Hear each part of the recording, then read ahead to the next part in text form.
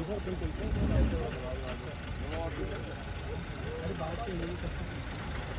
बस बस बस बस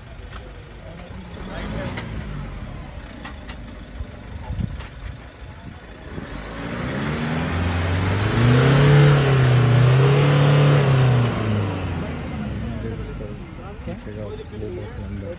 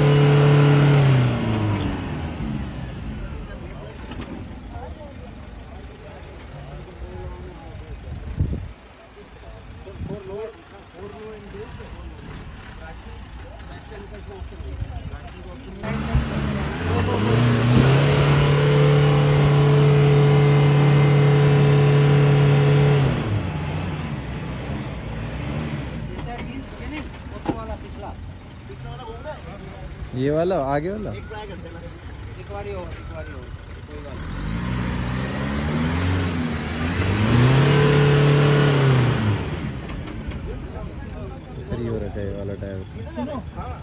सुनो आपके स्टीयरिंग ऊपर जाने के बाद राइट लेफ़्ट हो रहे हैं, ठीक है, नीचे